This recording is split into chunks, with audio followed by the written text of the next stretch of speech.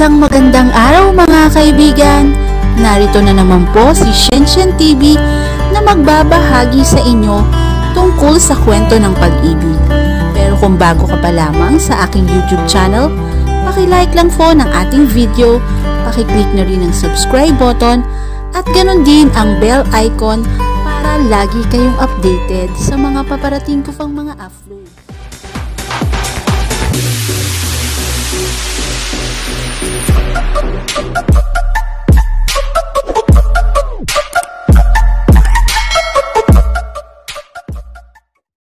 Chapter 27 Pinapark pa lamang ni Blake ang sasakyan sa ospital ay nagmamadaling bumaba siya roon. Ni hindi na siya lumingon. Sigurado naman siyang susunod at mahanap sila ni Montero. Halos hinihingal siya na makarating sa reception at tinatanong kung nasaan ang room number nila ni Georgina. Habang binabagtas ang daan, papunta sa kwarto nito ay hindi mapigilan ni Travis ang mapaluha. His hand were trembling because of fears. Fears of everything. Fears of what may happen. Hindi na niya narinig ang paligid dahil tanging ang pagtibok na lamang ng puso niya ang naririnig sa sandali na yon. Wala na rin siyang pakialam sa mga nababangga niya dahil isa lamang ang nais niyang makita ngayon, ang mag-ina niya. Nang makarating sa kwarto nito, ay nakita niya sa labas na nakaupo sa waiting area si Gio. Nakatalungko. Agad itong nagtaas ng tingin nang mapagsino siya. Alam niyang hindi ito iyaking bata. Pero nang makita siya nito ay tila naging ayon ang ugali at emosyon nito sa edad nito. Dati! Humahagulhol agad ito at nagpaharga sa kanya. Hopeless na hopeless ang itsura ng anak. Sobrang lungkot na mukha nito at dugoan din ang suot na damit nito. Hindi na rin mapagwari ang luha sa sipon nito. Awang-awa si Travis sa anak. Niyakap niya ito mahigpit. Papalapit sa kanya. Daddy here. Anak, Daddy's here. You stay there, okay? Bili niya rito. At akmang papasok siya sa loob ng emergency room, ngunit maagap siyang pinigilan ng mga personnel na iba pa sa loob. Asawa ko yung nasa loob, papasukin niyo ako! Ano ba? Malakas na sigaw niya. May nakahawak sa kanyang dalawang nurse. Kayo ho ba ang pamilya ng pasyente? May lumapit sa kanyang doktor na tansya niya ay siya ang nakatoka kay Georgina. Tumango siya. Oo, at ang batang nakaupo ay anak namin. Can you please let me see my wife? Anong lagay niya? Hindi na siya magkanda uto sa pagtatanong. Nakakaunawang tumango ito at sinenyasan ang mga nurse na bitiwan siya. Pasensya na, Mr. Mr. Rosselli, tumango ito. Ipagpaumanhin mo, Mr. Rosselli. Kasalukuyang ginagamot ang pasyente at bawal ho tayong makapasok sa loob dahil iba po ang kanyang kalagayan. Ano ang lagay niya? Ang anak namin, hindi man siya siguradong may anak sila. Ngunit ang dugong nasa damit ng anak ay pwedeng iyon ang dahilan. Dinugo si Georgina. They are in danger. Huminga ng malalim ang doktor. Pakiramdam ni Travis sa humihiwalay na ang kaluluwa niya sa katawan at ang pagsagot nito ay tila pinakamatagal na segundo sa buhay niya. Nagka-subchorionic hemorrhage ang asawa mo. Madalas na kaso talaga ito sa mga first, second, or trimester na pagbubuntis. Napakunot noo siya. Wala siyang idea sa mga medical term. Tila naiintindihan naman yon ng doktor. Subchorionic bleeding is when blood collect between the uterus and the gestational membrane during pregnancy. Imporma nito. Napatango siya. Gaano ka delikado? Kamusta siya? Ang baby namin. Masyadong masela ng pagbubuntis ng misis mo. Hindi naman masyadong delikado to pero pwedeng mauwi ito sa miscarriage. Sa sitwasyon niya na maselan ay hindi ko masasabi na maayos pa ang pasyente at ang bata. Titignan pa rin namin siya at oobserbahan. Tumango siya. Please do everything. Please. Save my wife and my baby. Pagmamakaawa niya. We will do our best, sir. Stress ba lately si Mrs. I suggest na hindi siya dapat nagpapa-stress. Sa ginagawa kasi naming nangatest sa kanya, mukhang healthy naman ang pasyente at walang sakit. Dapat niyong malaman na ang stress sa buntis ay pwedeng maiuwi sa miscarriage. Bumuka ang kanyang matres ng ilang milimetro. Gagawin namin ang aming makakaya. Doc, please, save both of them. Nagmamakaawa ako. Garalgal ang tinig na sabi niya. Napatango na lamang ang doktor at pumasok muli sa kwarto. Nanghihinang napasili pa lamang si Travis sa pintuan. Kitang-kita niya roon ang nakahigang si Georgina. Himpis ang mukha nito. Halatang stress at maraming iniisip. Awang-awa siya sa babae. Kung pwede niya lamang akuin ang sakit na nararamdaman nito ngayon. Nahimas niya ang salamin ng pintuan na tila ba mahawakan ito. Nangihinang napaluhod siya. Umiiyak. Ilang sandali pa ay humahango sa dumating ang mag-asawang Williams. Iho, anong nangyari? Kung paano nalaman ng mga ito, ay hindi na rin niya iniisip na blankong-blanko ang utak niya. Nahabag na niyakap siya ng ina ni Georgina. Iyo, magpakatatag ka. Makakaya ni Georgina to. Ngayon pa na nakilala na ng anak niyang ama. Huwag kang mawala ng pag-asa. Kami na ang bahala rito, magpahinga ka na. Umiling-iling siya. Tila batang naglulupasay sa sahig. Bunti si Georgina, ma. She's pregnant again with my child. At wala man lang akong nagawa para protektahan sila. Wala akong kwentang ama. Paghihinagpis niya. Huwag mong sisihin ang sarili mo, iho. Walang may gusto sa nangyari. Magpakatatag ka. Makakaya ni Georgina to. Marami nang naranasan ng anak kong yon para sumuko pa. Garalgal na rin ang boses ng ginang. Magpahinga ka na, iho. Ani ni Papa ni Georgina. Ayokong iwan ang mag-ina ko rito. They need me. Please understand. Paos na sabi niya. Nakakaunawang tumango ang mga ito. Kinausap nito ang mga nurse. Ilang saglit pa ay nagpaalam na ang mga ito. Kung gusto mong manatili rito, ikaw ang bahala. Iuwi namin muna si Gio sa bahay para makatulog naman siya at hindi masaksihan ng bata ang paghihirap ng kanyang ina. Wala sa sariling tumango siya. Lumapit sa kanyang anak. Daddy, Nangungusap ang mga mata nito. Hiyang-hiya siya sa anak. Hindi ito matitigan. Napakawalang kwenta niyang ama. Daddy, huwag niyo na pong sisihin ang sarili ninyo. Ayaw ni mami yon. Tsaka, di tayo iiwan ni mami. At ng kapatid ko, sobrang strong nila. Bumalik ulit ang pagiging matured nito. Wala ang kaninang Gio na ayon sa edad nito.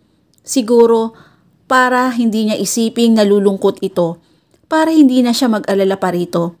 By thinking that, para nang piniga ang puso niya sa sakit. Pinilit niyang ngumiti.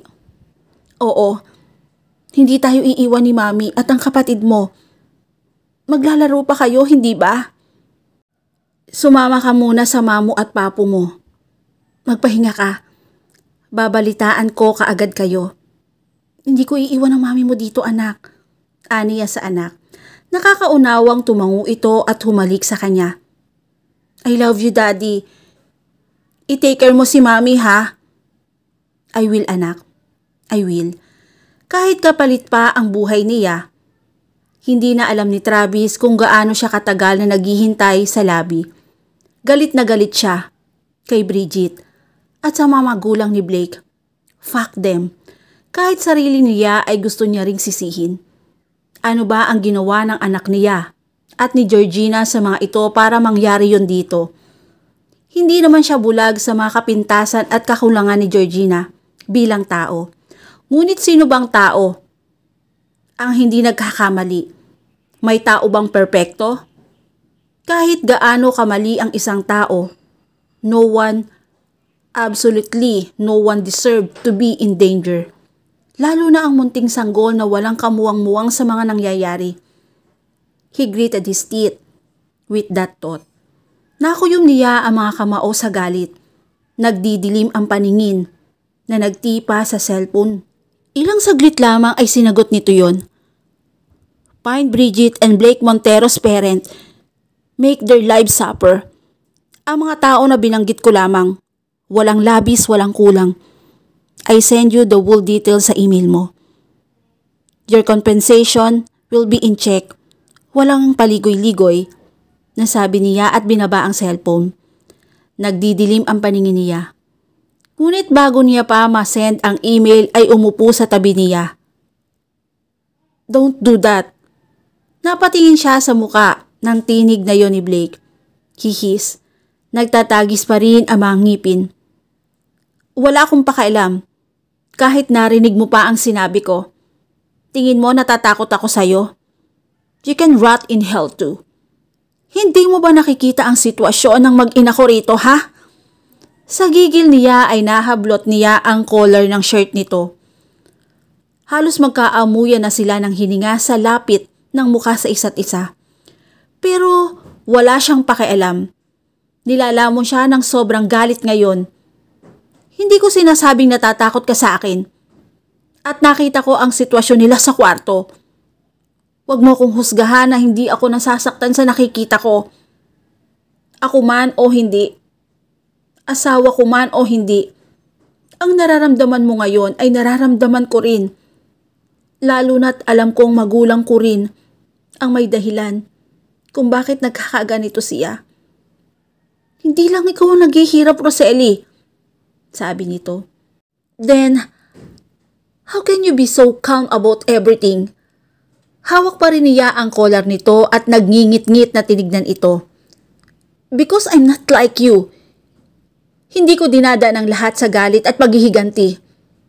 Speaking of which, di ba gusto mo na maghigante? Pwes ibibigay ko sa'yo. Napuno ang kalituhan ang itsura niya. Anong ibig mong sabihin?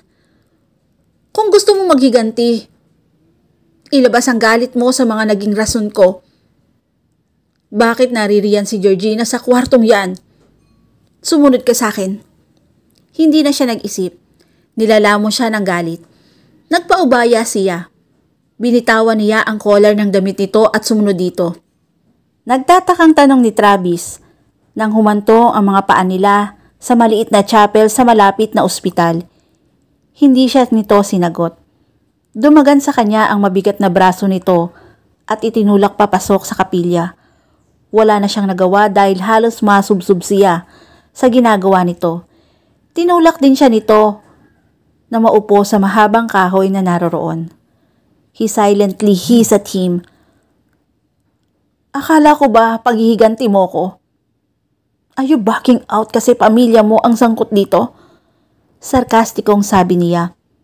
Tinignan lang siya nito at tumingin sa harap. Hindi siya pinansin.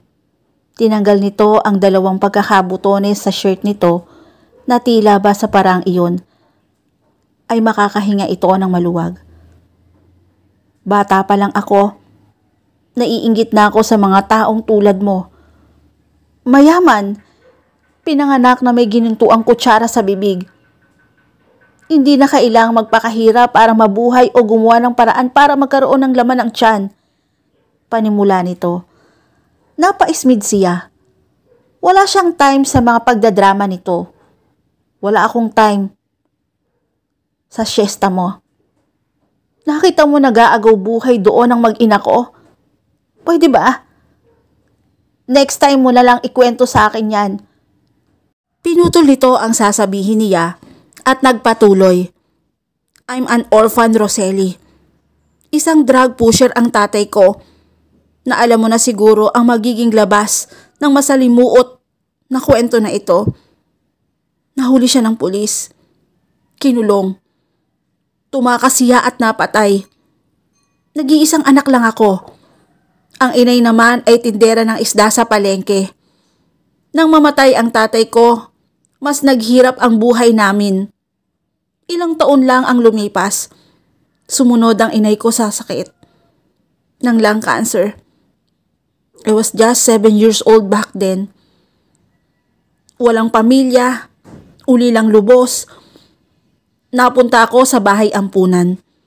Doon ko nakita kung gaano kahirap mabuhay ng walang magulang at pamilya Roseli. Mahinang sabi nito. Natahimik siya. Nakiramdam. Kahit alam niyang nag-aagaw ang buhay ni Georgina, natagpuan niya ang sarili na nakikinig dito. Lahat ng pagpapansing ginawa ko para lamang maampun ako Tuwing may mga kasama ako na kinukuha o inilalabas, hindi ko maiwasang hindi mainggit sa kanila. Siguro, mabuting inggit naman yon. Kaya simula noon, mas pinag-igihan ko. Nagpakabait ako. Nagpakasipag ako. Lahat ng activity sinasalihan ko. At nagbunga naman yon dahil inampun ako ng mga magulang ko. And yes, sila ang kinikilala kong magulang ngayon. Nakatanaw lang ito sa malayo habang sinasabi yon. They taught and gave me everything. Life, school, business, woman, society, everything.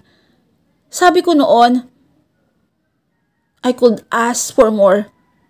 Bakit hindi? Isang mayamang pamilya ang umampun sa akin. Hindi binihiyaan sila ng anak dahil may problema sa matres ang mama. Travis, minahal nila ako ng lubos. Doon ko naramdaman na may silbi pala ako. Na may essence pala yung buhay ko sa buong buhay ko. Umiikot lamang sa kanila. I want to please them every time. Ayokong nadidisappoint sila sa akin kasi natatakot ako Natatakot ako na mawala ulit ang pamilya ko. Natatakot ako na sa bawat maling gagawin ko, pwedeng mawala sa akin yung pamilya na inaasam ko noong bata pa ako. At tanging nagmamahal at nagbihis sa akin. Lahat ng gusto nila sinunod ko. Wala akong sariling desisyon. Nagpatuloy pa ito. They want the best for me, Travis.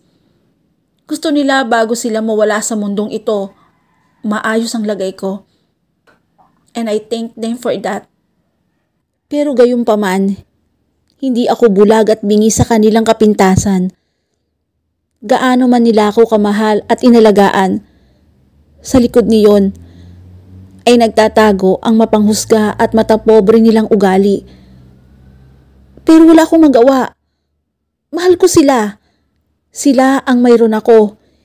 Hindi niya napigil kumontra. Hindi pagmamahal yun, Montero. Hinahawakan ka nila sa leeg. Pinuputol nila ang pakpak mo. Hindi ka nila hinahayaan sa desisyon mo. Tingin nila sa'yo, isang bagay na kailangang ingatan para pagdating ng araw ay hindi maging useless ito. Hindi ka nila mahal dahil ikaw ay ikaw. Kahit sino man ang ampunin nila, ganun din ang mangyayari tulad sa'yo. It just happened na ikaw ang inampon. They don't love you for who you are. They are manipulative and cruel, sabi niya. Nakita niya ang pagdaan ng sakit sa mukha nito. Ngunit ngumiti ito ng pilit. Tingin mo ba, hindi ko alam yon? I know that. Like what I said, I'm not deep and blind. I know everything. You may be right.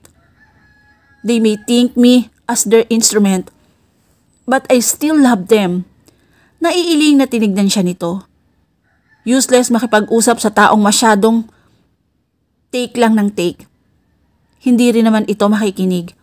Kahit ano pa ang sabihin mo, hindi mo mababago ang desisyon ko na pagbayarin sila sa ginawa nila kay Georgina. At ganun din sa anak ko. Alam mo bang pwedeng trauma ang maranasan nila? Ha? Alam mo ba yon? Hindi ko sinasabing huwag mong gawin. Hindi kita pipigilan. Eh bakit tayo naririto? Hindi ba para makiusap na huwag kong ituloy ang plano? Sarkastikong sabi niya. Huminga ito ng malalim. Ano man ang maging desisyon mo pagkatapos nating mag-usap. Nasa sayo na yon. I just wanna say forgive, forget everything, and forgive who sins against you. Mahinahon nitong sabi. Nagtagi sa mga bagang niya.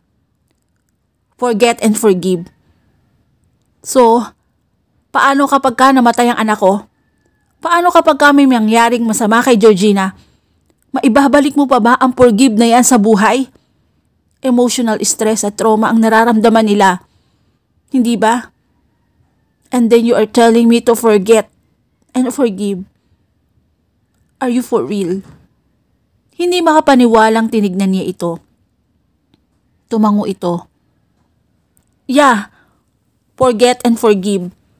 Napailing na napabuga na lamang siya ng hangin So kahit gawang ka ng pangit na magulang mo, ganyan ka pa rin. What the heck is wrong with you? Hindi ito tumingin sa kanya. Alam kong masama ang magulang ko pero gayon pa man at the end of the day, kahit anong gawin nila, I just find myself forgiving them. They are my parents. At ayokong mabuhay sa galit. Baka pagsisihan ko.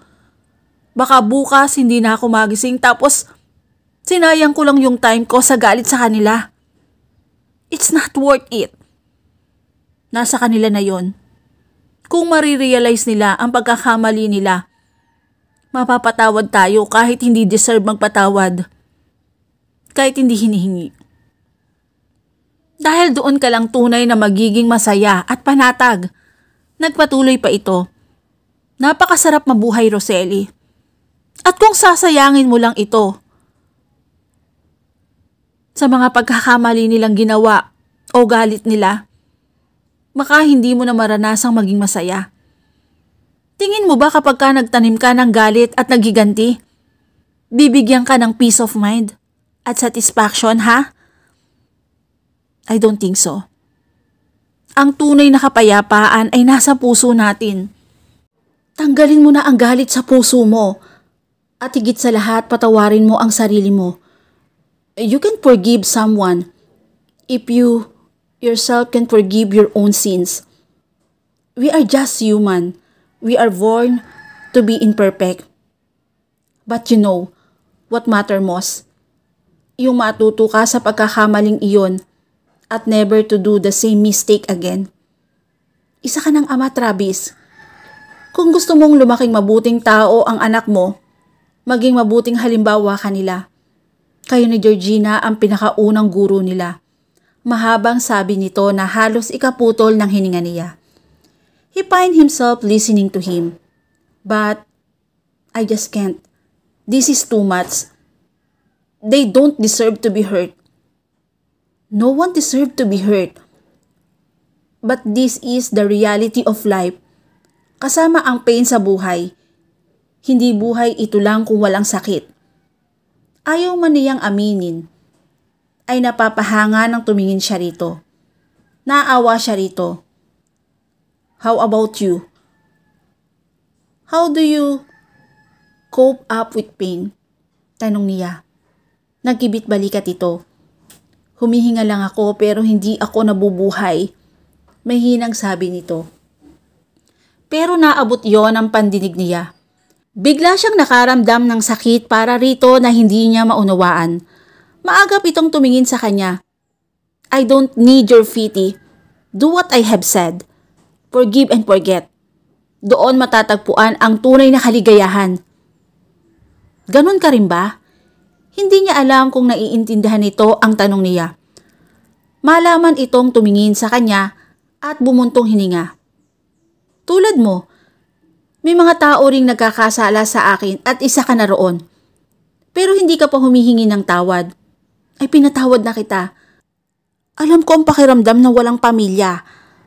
At kahit handa akong iparamdam sa mag-ina mo na mahal na mahal ko sila, ayokong ipagdamot sa kanila ang isang buong pamilya. The family that I never had in real terms. Does it mean pinapalaya na nito si Georgina? Is he giving up on her? Huminga uli ito ng malalim at tinitignan siya sa mga mata. Ayusin mo na ang dapat mo na matagal mo nang inayos. Roseli, it's now your time to make up with them. They need you this time. There is no time and space para masaktan. Let us end this war.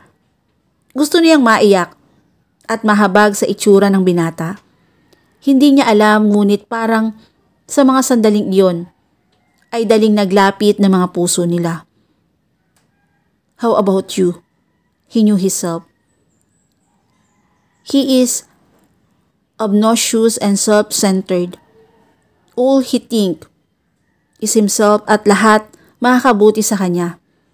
Pero sa pagkakataon na ito, gusto niyang malaman kung paano ito. Pinilit nitong humiti.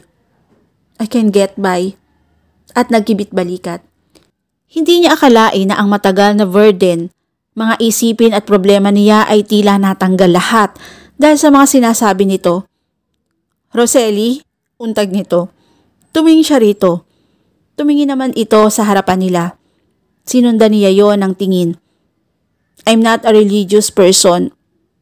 I don't even go to church for faith's sake but I always believe in Him, in His almighty power. You only need to cry your heart out to believe in Him. Papasukin mo siya sa puso mo. Everything is possible. Trust Him. Makakaligtas ang mag-ina mo. God is good all the time, Roseli. Mahina ngunit mariing sabi nito. Nakabalik na sila lahat sa ospital ay paulit-ulit na nagre-reply ang huling sinabi nito sa utak niya. At dito na po nagtatapos ang ikadalawamput pitong bahagi ng aking kwento. Nawa po ay patuloy kayong sumubaybay sa